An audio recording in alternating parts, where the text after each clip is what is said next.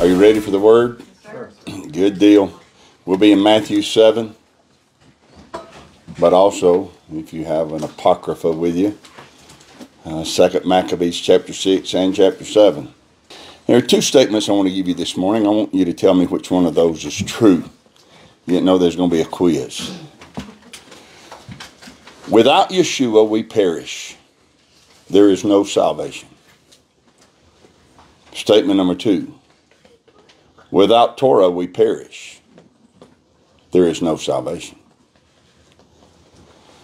We're going to let those uh, simmer for a little while, and then we're going to read. I'm going to read to you. I'm going to do actually a lot of reading this morning. It's going to require you to be very disciplined uh, in hearing. So I'm going to re- begin reading out of 2 Maccabees chapter 6, verse 1.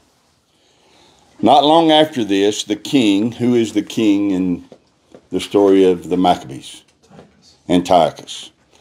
Not long after this, Antiochus sent an old man of Athens to compel the Jews to depart from the laws of their fathers and not to live after the laws of Yahweh, and to pollute also the temple in Jerusalem, and to call it the temple of Jupiter Olympius, and that in Gerizim call it Jupiter, the defender of strangers, as they did desire that dwelt in that place. So Jupiter in case you didn't know, that's the same as Zeus. Zeus, Jupiter, referring to the same God, just referring to him by different cultures, uh, assigning him different names. I'm going to now skip down to verse 10 in that same chapter. For there were two women brought who had circumcised their children, whom when they had openly led round about the city, the babes hanging at their breast, they cast them down headlong from the wall. So these two women are killed for circumcising their infants. Since there was a law that prohibited that, were the women wrong to have circumcised their children? Would Yahweh have understood their situation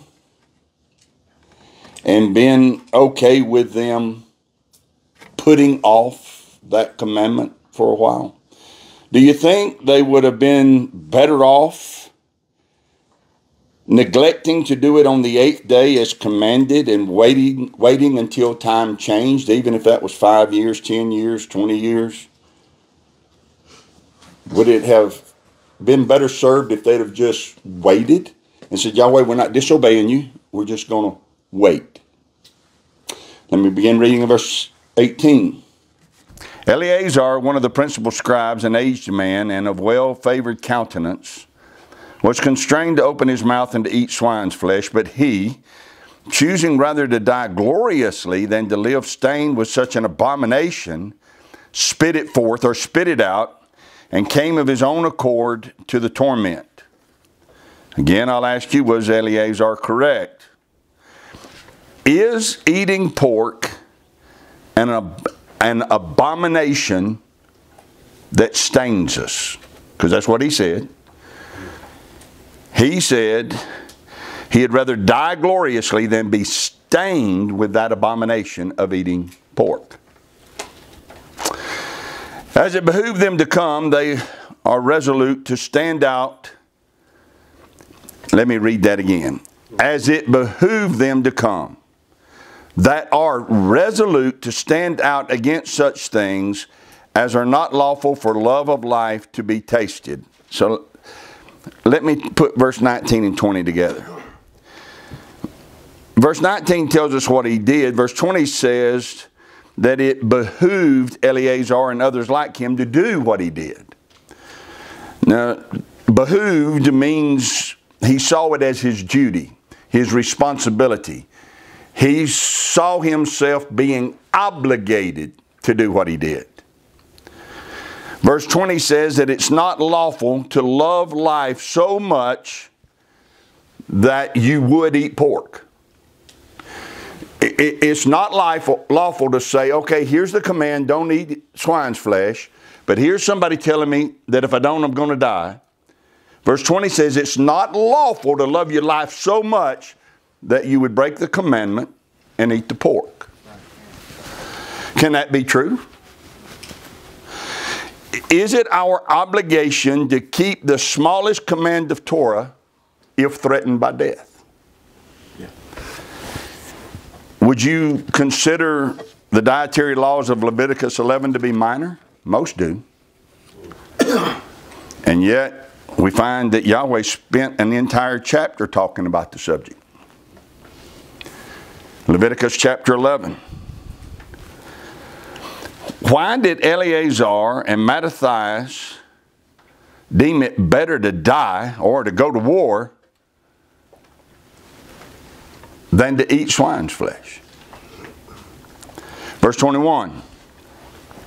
But they that had the charge of that wicked feast, for the old acquaintance they had with Eleazar, taking him aside, besought him to bring flesh of his own provision, such as was lawful for him to use. In other words, go get a piece of lamb and bring it with you.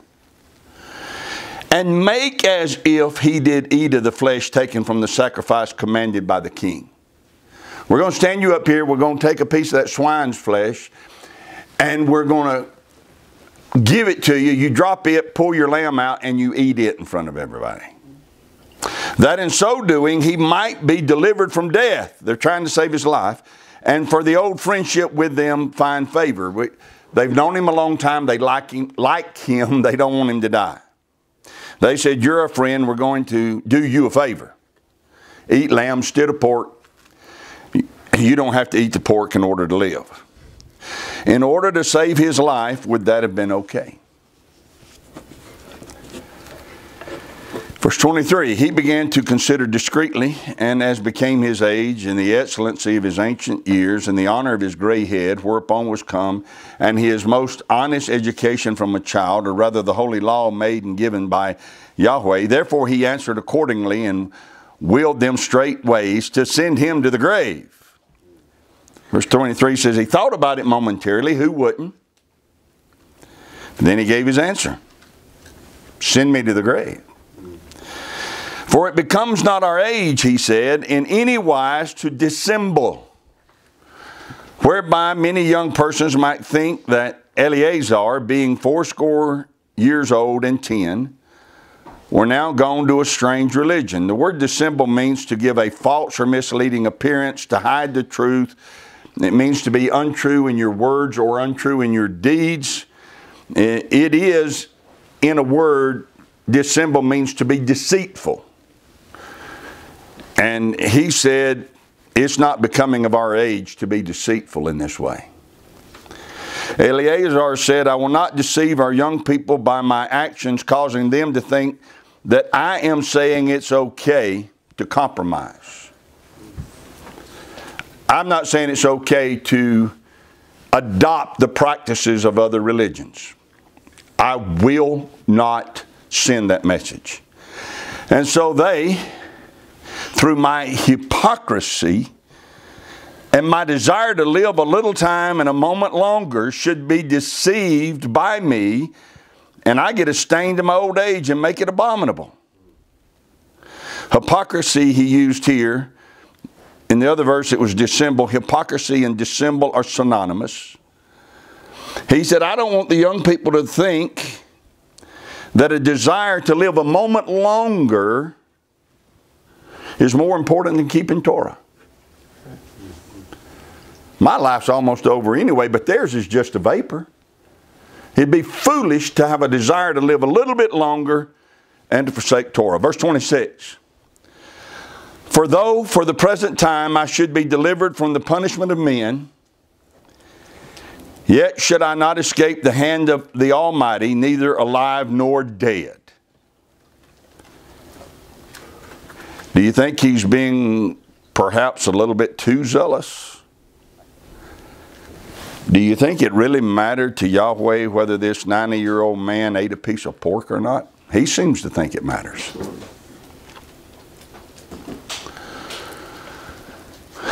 Wherefore now, manfully changing this life, I will show myself such as one as mine age requires. and leave a notable example to such as be young to die willingly and courageously for the honorable and holy laws. And when he had said these words, immediately he went to the torment. So, how strong should one's dedication to Torah be? Should we die willingly and courageously for the holy laws? Do the dietary laws really matter that much? let me ask it the way it's declared from pulpits in, in 2023.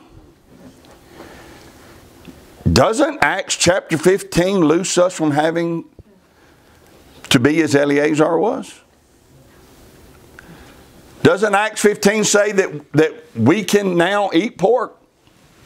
Didn't the vision in Acts 10 say that we can now do it? We don't have to live with the same zeal and dedication as Eleazar did? Verse 29 They that led him changing the goodwill they bear him a little before into hatred. Their goodwill they had before is now changed into hatred because the foresaid speeches proceeded as they sought from a desperate mind. This man's crazy, is what they begin to think. But when he was ready to die with stripes, he groaned and said, It is manifest unto Yahweh that has the holy knowledge that whereas I might have been delivered from death, I now endure sore pains in body by being beaten. But in soul I am content to suffer these things because I fear Yahweh. Amen.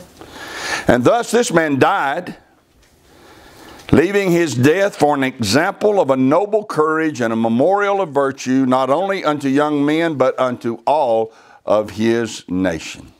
So he died simply because he refused to eat pork. Was it necessary that he actually die? Second Maccabees chapter 7. This is the harder story to read, but we're going to take the time to read it.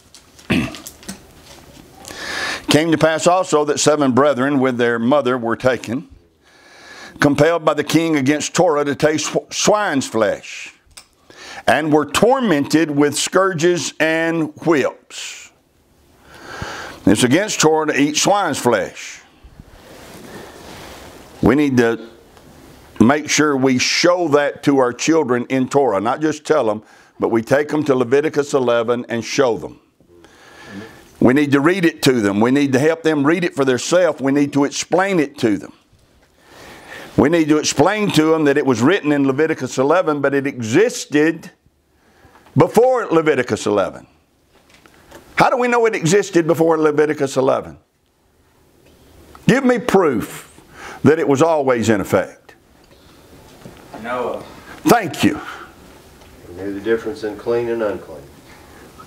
When Noah was putting the animals on the ark, Yahweh told him, one pair of the unclean, seven pair of the un, uh, of the uh, clean. Okay. Well, how do you know which ones were clean and unclean?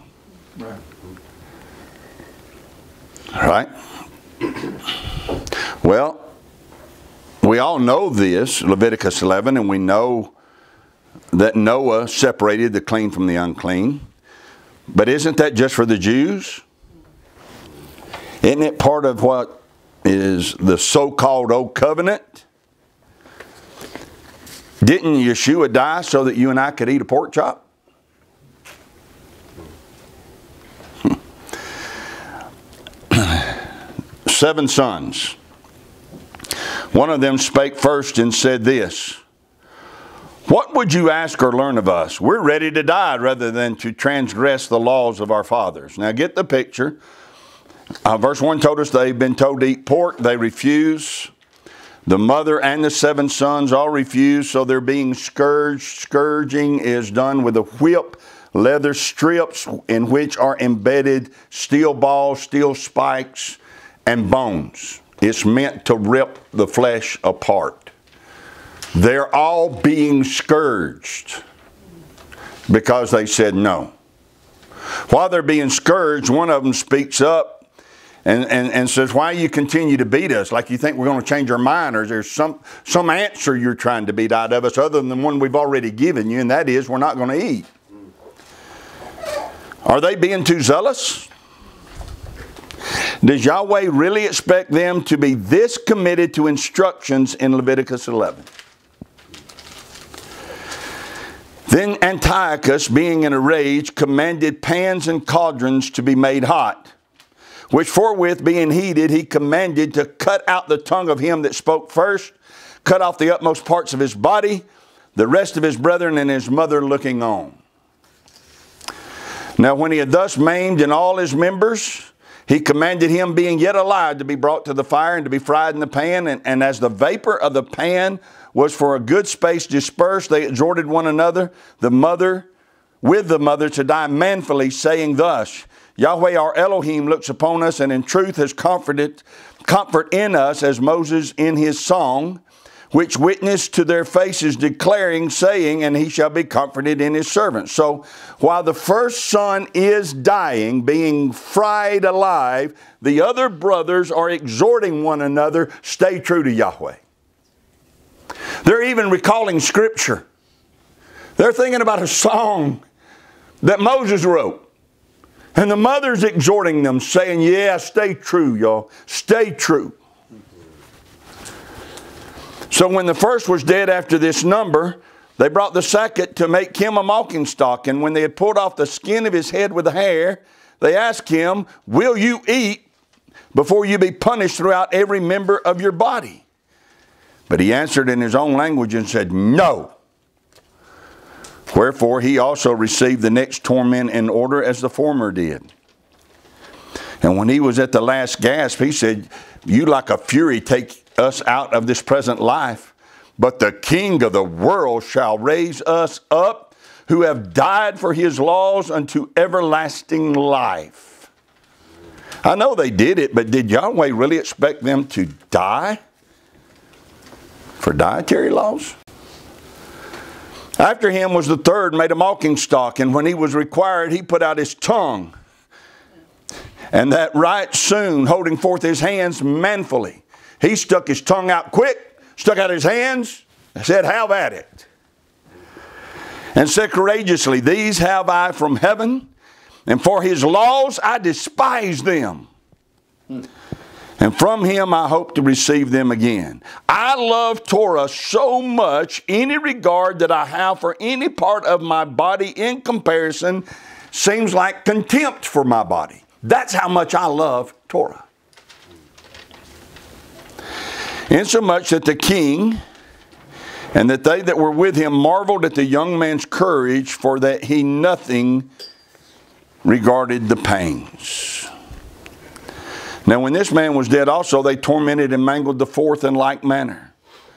So when he was ready to die, he said this It is good being put to death by men to look for hope from Yahweh to be raised up again by him. As for you, you shall have no resurrection to life. He'll be resurrected, all right, but not to life. Afterward, they brought the filth also and mangled him. Then looked he unto the king and said, You have power over men, you are corruptible, you do what you will, yet think not that our nation is forsaken of Yahweh. But abide a while and behold his great power. You just hang around, king. Stick around. You're going to see his great power, how he will torment you and your seed.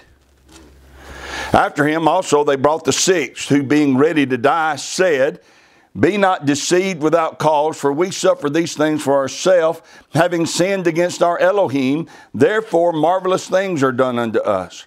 But you should not think that takest in hand to strive against Yahweh, that you will escape unpunished. But the mother, oh, she was marvelous above all and worthy of honorable memory. For when she saw her seven sons slain within the space of one day, she bore it with good courage because of the hope she had in Yahweh. Yea, she exhorted every one of them in her own language, filled with courageous spirits, stirring up her womanish thoughts with a manly stomach she said unto them, I cannot tell you how you came into my womb, for I neither gave you breath nor life, neither was it I that formed the members of every one of you. But doubtless the Creator of the world, who formed the generations of men and found out the beginning of all things, will also of his own mercy give you breath and life again, as ye now regard not your own selves for his law's sake. Now, the only law in question that day, all of them were in question, but the only law in question on this day was the one that told them that they couldn't eat pork. Is that a law worthy of taking a stand against so fervently that you lose seven sons in one day?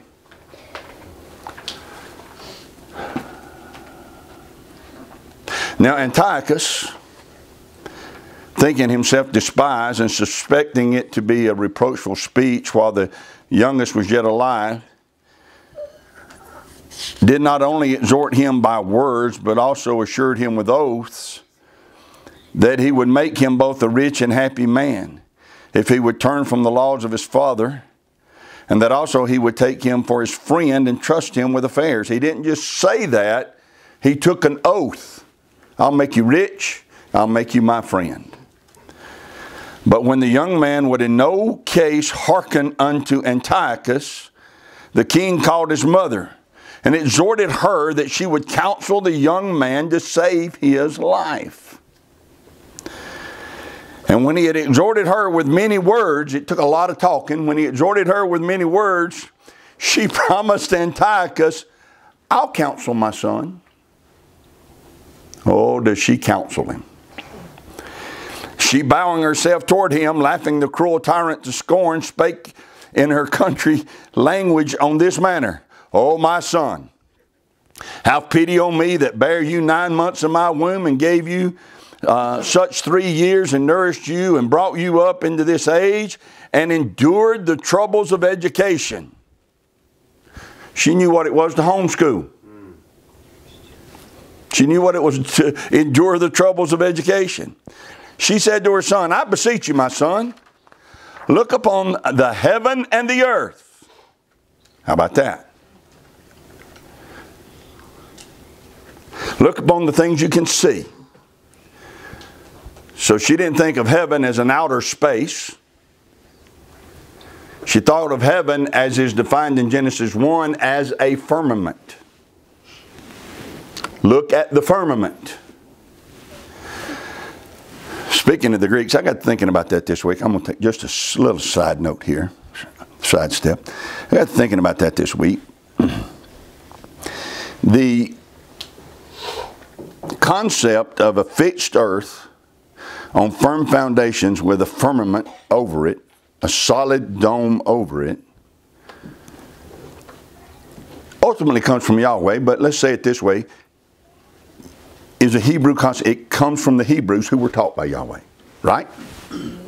Everybody agrees with that. They call it the Hebraic concept or cosmology. You know where the globe concept comes from?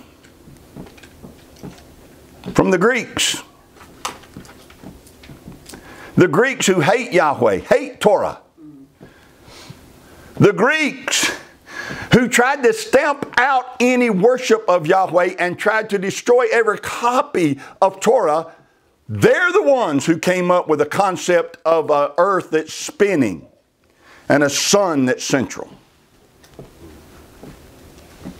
Yeah, let's think like the Greeks. Not. Anyway, back to the mom.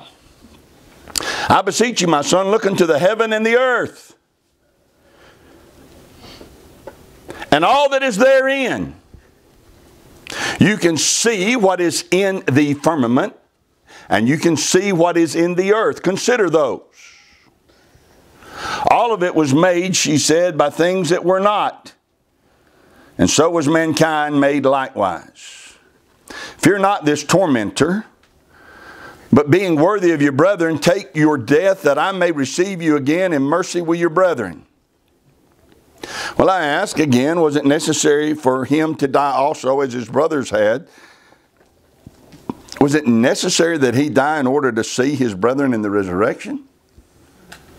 Was that really necessary? His mother is saying that he's required to be obedient unto death if he wants to see his brethren. Is she right? While she was yet speaking these words, the young man said, Whom do you wait for? I will not obey the king's commandment, but I will obey the commandment of the law that was given unto our fathers by Moses. And you, that have been the author of all mischief against the Hebrews, shall not escape the hands of Yahweh. For we suffer because of our sins, and though the living Elohim be angry with us for a little while for our chastening and our correction, yet shall he be at one again with his servants. But you, O godless man, and all other most wicked, and of all other the most wicked, be not lifted up without a cause, nor puffed up with uncertain hopes, lifting up your hand against the servants of Yahweh. You're making a mistake, sir. Stephanie and Glenn uh, both sent me a video yesterday of a Turkish lawmaker who declared that Israel cannot escape the wrath of God in, in uh, some Turkish law thing. Say again? A parliament, yeah. Israel shall not escape the wrath of God. Turned to walk away from the podium, took about two steps, and fell over with a heart attack. What this man's doing here in Second Maccabees uh, 7 is dangerous. And that's what this young man's telling him. You're lifting up your hand against the servants of Yahweh. For you have not yet escaped the judgment of Yahweh Adonai who sees all things. You think that you're, you've escaped. You haven't. You will face the wrath of Yahweh. Verse 36 For our brethren who now have suffered a short pain are dead under Yahweh's covenant of everlasting life. There's no such thing as a covenant that only binds one party. Now you understand why they were willing to die. They understood they were in covenant. And if they expected Yahweh to keep his end of the covenant, they had to keep their end of the covenant. But you, they said to Antiochus, through the judgment of Yahweh shall receive just punishment for your pride.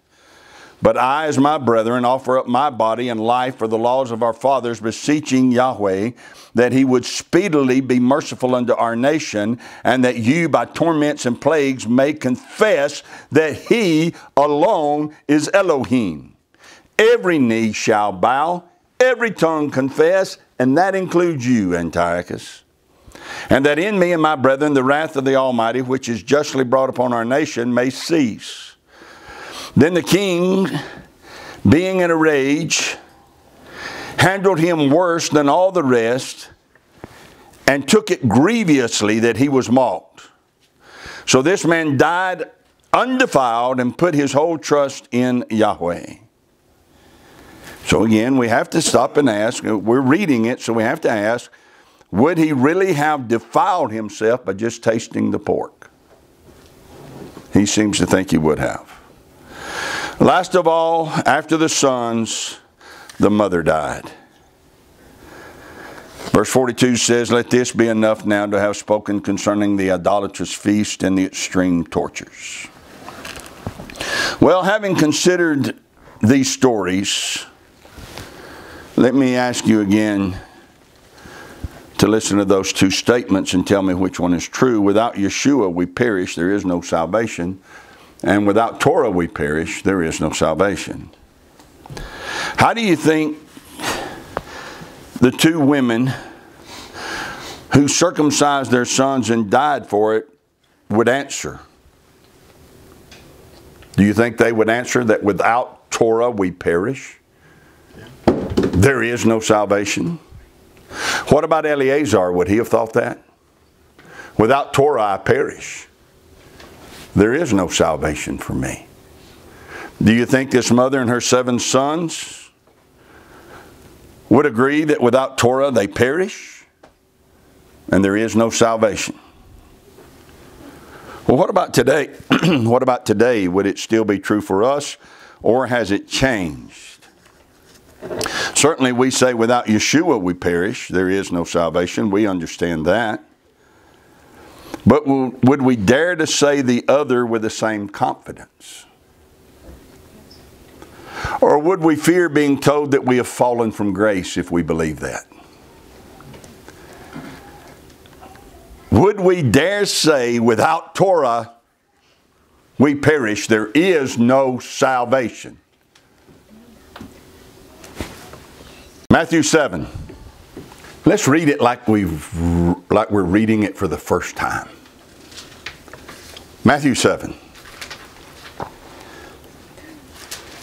Not everyone that says unto me, Master, shall enter into the kingdom of heaven, but he that does the will of my Father which is in heaven. Well, we got a problem right there beginning in verse 21 when you consider what's being said there and what's being taught massively in our day and time. Yeshua said, It's not by calling him Lord that we enter into the kingdom of heaven. But that is what's taught today. Just ask him into your heart, make him Lord, call him Lord, People are told Sunday after Sunday by pastors they trust, if you'll just ask Him into your heart and say, Jesus, you're my Lord, you'll go to heaven. But Yeshua said that the ones who do that, let me, let me back up and say it this way. Yeshua said that the ones who enter the kingdom of heaven don't simply call him master, he said the ones that enter the kingdom of heaven not only call him master, but they do something. What do they do? What do they do? What did he say? Do what now? Does his will. Does the will of, of the Father. Huh. Well, how in the world would we ever figure out what Yahweh's will is for us? Torah's instructions. Could it possibly be that simple? Is it possible that Yeshua is saying that you can call him master all you want, but if you're not doing Torah, you're not going to get into the kingdom of heaven? Many will say to me in that day, Master, have we not prophesied in your name? And in your name have cast out devils, and in your name done many wonderful works. So we got to stop and consider what if what if there are people who call Yeshua master and they're also involved in a word of faith ministry where they prophesy? What if they call Yeshua master and are heavily involved in a deliverance ministry and routinely cast out demons? What if they call him master and in, they're involved in a healing ministry where they do mighty works? That's what it means there. The, the word mighty works there, wonderful works, comes from the Greek word dunamis. Dunamis refers to mirac- miraculous works of power. So they said, we, we were involved in miraculous works.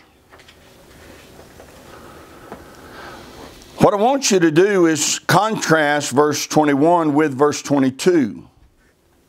I want you to notice what the people did. They came up with a substitute. They decided, ah, that keeping Torah, that's old stuff. So rather than just trying to live by all of those outdated laws, we'll, we'll do something else. We'll prophesy, cast out devils, and pray for miracles. see healings. That, that, that is showing we're serving Him. Prophecies, casting out demons, and healing people. That's our work. Surely it's more important to do these things than it is to just refrain from eating pork. Surely it's more important that I prophesy and cast out demons than, I, that, than that I just rest on the Sabbath. Where's the benefit in that? But if I'm prophesying and casting out demons, that's really doing something. Well, let's see what Yeshua said. And then I will profess unto them, I never knew you. Depart from me, you that work iniquity. They will be professing to me, we did this. I will be professing to them, I never knew you. Then what did Yeshua say in the last part of verse 23? Depart from me, you working, uh, workers of iniquity. Literally, the Greek words there are go away. Sounds a little nicer when we say, depart from me. They're saying, we prophesied, we cast out demons, we healed the sick. And he looks at them and says, go away.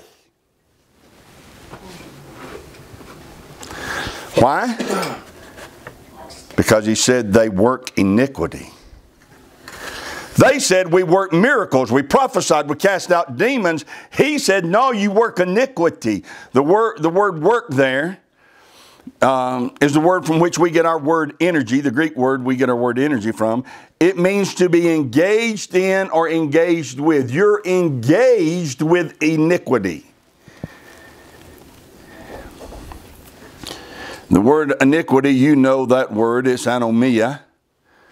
Nomos means law. The negative particle a is used as a prefix. Thus, the word translated iniquity there literally is lawless or Torahless. Go away, you who are engaged in being Torahless, lawless. Go away.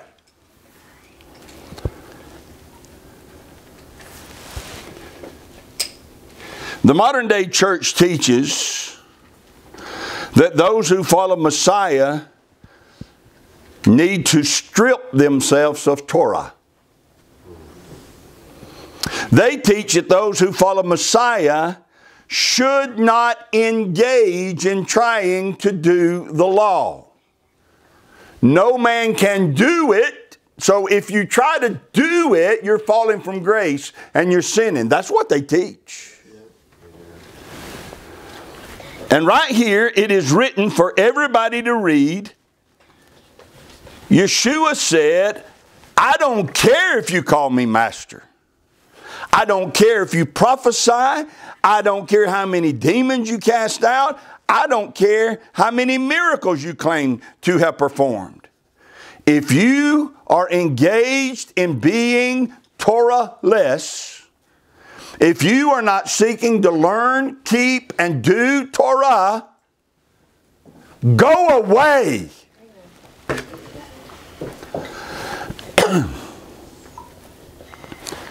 Today, with Hanukkah just behind us and with the stories of Hanukkah fresh in our mind, I want to ask you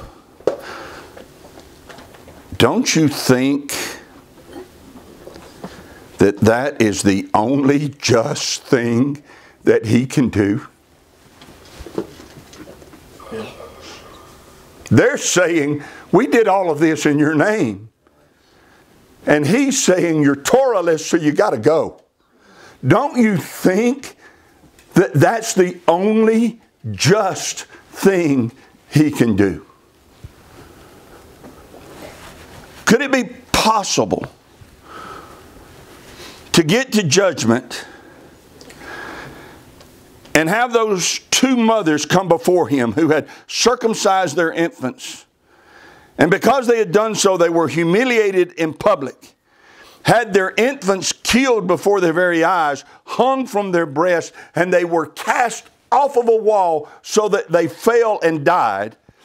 Could he possibly tell them, Well done, thou good and faithful servant?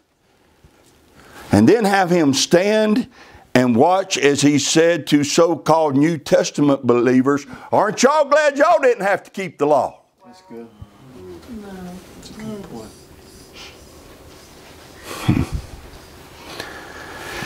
Could he stand there, or could these women stand there and watch while he let people into the kingdom who never kept any of his law? No, sir. Could they stand there and watch while he said to another group, Man, aren't you glad all you had to do is say a prayer when you was 12 years old and you got in? That's good. Could he bring before him the mother and her seven sons and have them stand there and watch people enter into the kingdom of heaven who celebrated the resurrection by eating ham on Sunday? No. Here, mom, seven sons, stand here. I want to show y'all something. These people are coming in because they said a prayer when they were a kid. And they celebrate my resurrection by eating ham on Sunday. How many commandments are they breaking? At least two. At least two, at least three. Not supposed to adopt pagan practices, not supposed to eat ham, and not supposed to forsake the Sabbath. Or serve another God. serving other gods. Okay? So, oh, I know y'all went through a lot of torment. But I'm going to let them in because they call me Lord.